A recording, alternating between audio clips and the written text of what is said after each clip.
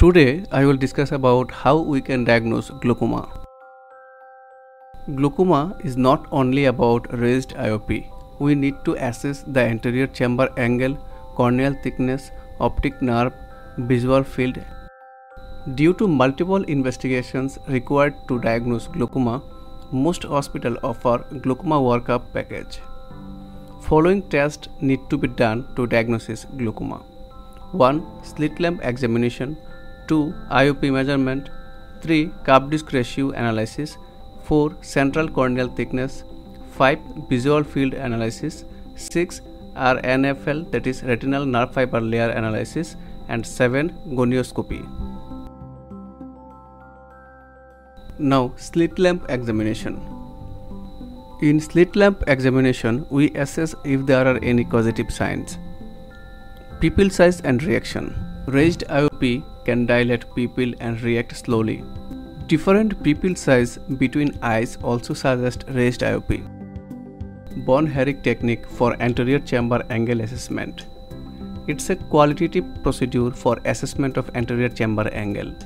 It's done with optic section illumination with full length and narrow width and angle between illumination and observation system is 60 degree focusing on the peripheral cornea. The gap that is black space between the corneal section and reflected lights on the iris is compared with the width of corneal section. If the width of black space is half or more than the corneal section width, then the angle is considered wide or normal. Here in this figure you can see this is width of corneal section and this is width of black space. The black space between the corneal section and iris reflex is more than half of the width of the corneal section. So this patient's anterior chamber angle is open angle or normal angle. Now IOP measurement. Raised IOP is most common sign for glaucoma but all the tonometers are not equally accurate. Among all the tonometers, Goldmann applanation tonometer is most accurate and considered as gold standard for IOP measurement. IOP more than 22 mm of mercury is considered glaucoma suspect. Most tonometers are calibrated for the cornea with thickness 545 microns.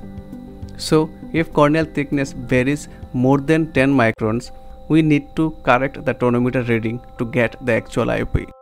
We will discuss details about this in central corneal thickness slide. Now, cup disc assessment. Normal cup disc ratio is 0.3 is to 1. Cup disc ratio more than 0.4 is to 1 is considered glaucoma suspect. Cup disc ratio can be identified by either direct ophthalmoscope or fundus photography. There is no specific scale to measure and compare the ratio between the cup and disc. Clinician compare the ratio based on his own point of view, so this may vary from clinician to clinician.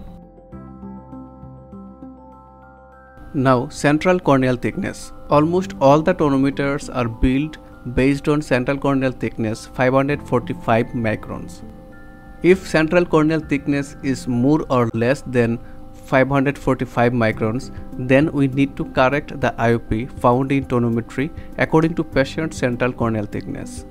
Generally, for every 10 microns increased central corneal thickness, we need to subtract 1 mm of mercury and for 10 microns of decreased central corneal thickness, we need to add 1 mm of mercury. Below formula can be used to get actual IOP of individual. Actual IOP equal to IOP in tonometer minus central corneal thickness minus 545 divided by 10. For example, a patient's IOP found in non-contact tonometer is 23 mm of mercury. Patient's central corneal thickness is 575 microns. What is the patient's actual IOP? Here, central corneal thickness is 575. IOP in tonometer is 23. We have to find out actual IOP.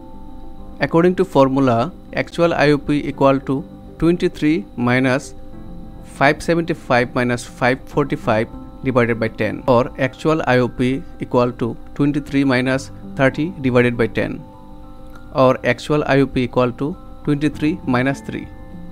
or actual IOP is 20 mm of mercury. The initial IOP of this patient was 23 mm of mercury, but because of increased central corneal thickness, the actual IOP of this patient is 20 mm of mercury. Now, retinal nerve fiber layer. The weakest point of eyeball is optic disc area due to passing blood vessels, nerve, retinal nerve fiber, etc.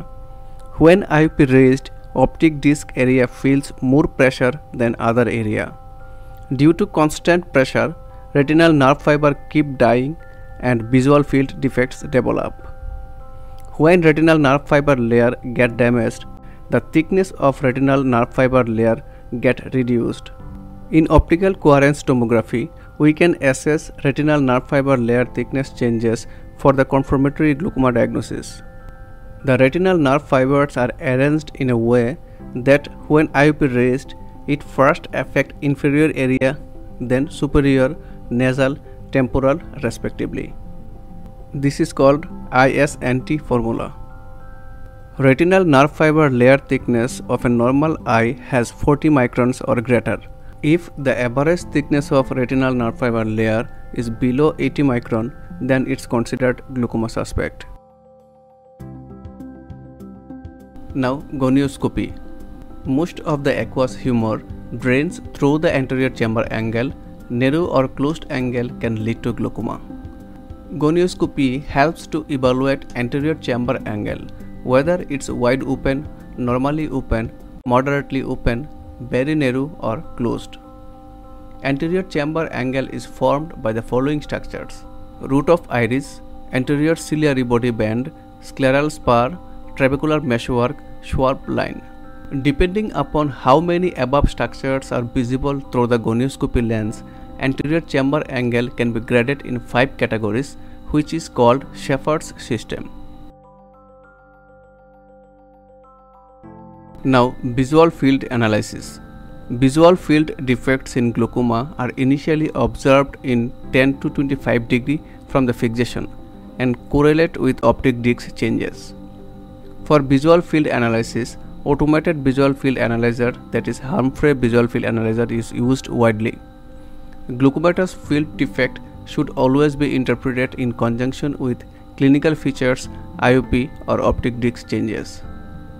The criteria to label early, moderate and severe glaucomatous field defect in HFA central 30 days 2 test following point can be analyzed. Stay with smart optometry and study optometry smartly.